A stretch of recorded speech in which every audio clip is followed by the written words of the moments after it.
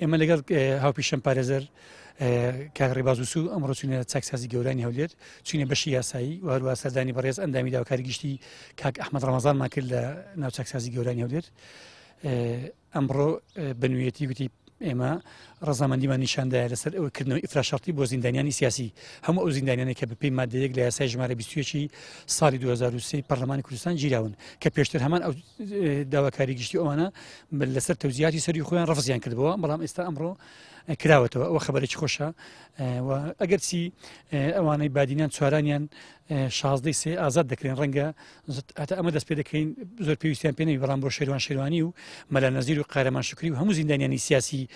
ترکە لە چاکسازیەکانن شمولی هەمیان دەکە ئەو بابەتە بڕارەی ئەو خۆش بوو